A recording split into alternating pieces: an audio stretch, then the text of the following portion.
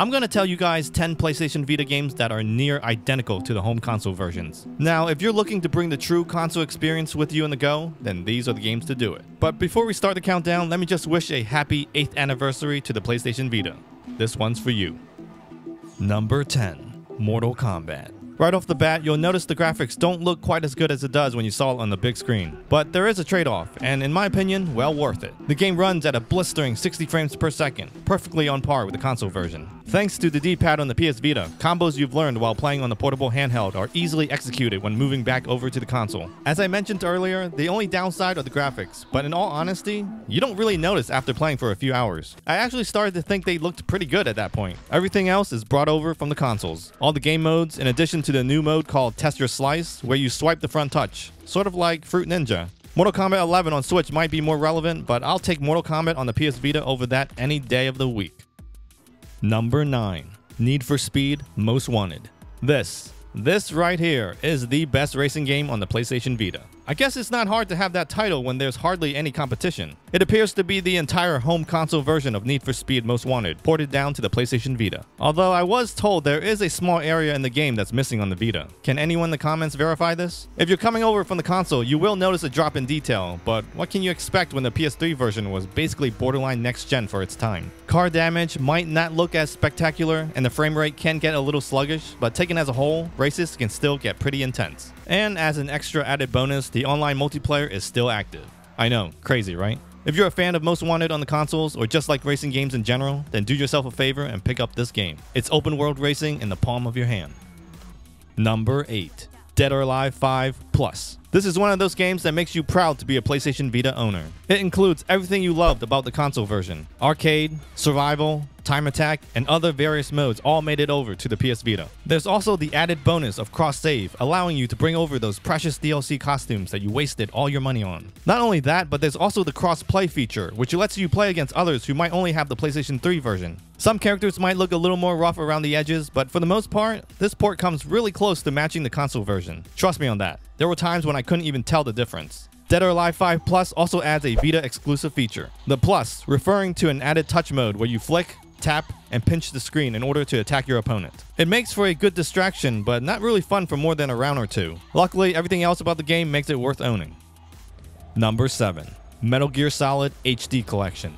Alright, so it's not in full HD, but it still looks pretty damn good, especially when you're looking at it on the Vita's OLED screen. Not quite on par with the console remasters, but definitely sharper than the PS2 originals. Upon first booting up the collection on the PS Vita, I'm just amazed at how well these games translate over to Sony's portable handheld. I mean, I hate to sound like a broken record, but these games look awesome on the small screen. The only downside is that it doesn't include Peace Walker in the collection, unlike it does on the consoles. When I think about it, the Vita might have the only portable version of Metal Gear Solid 2 Sons of Liberty. Can anyone confirm that? I know Snake Eater was released on the Nintendo 3DS, but I think we all know how that turned out.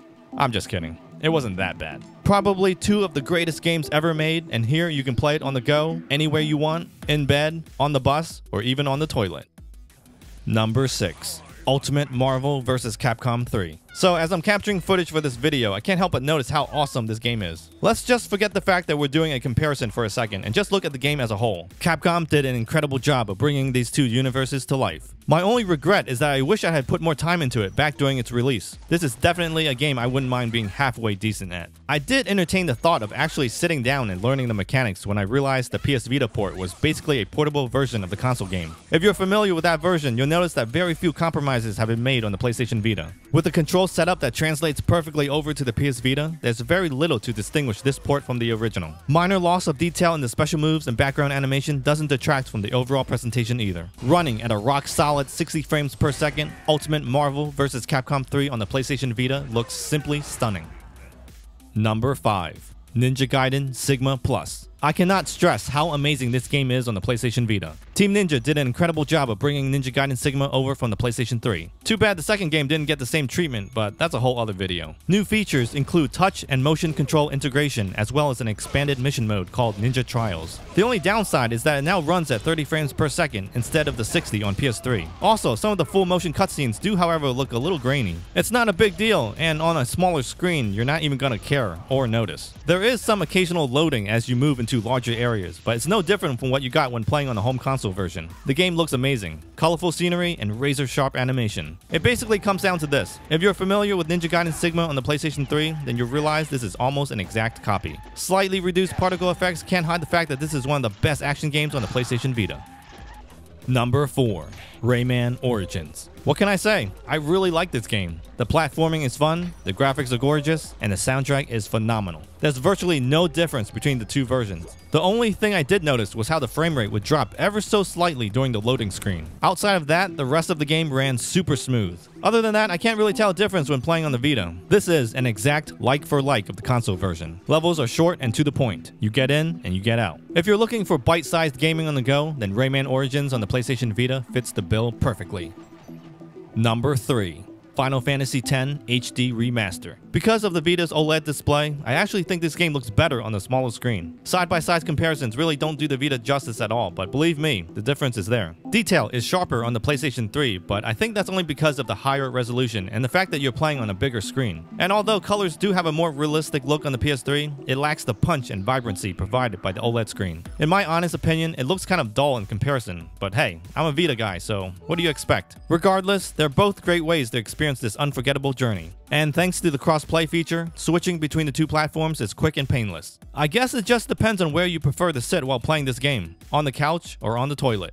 The choice is up to you. Number 2.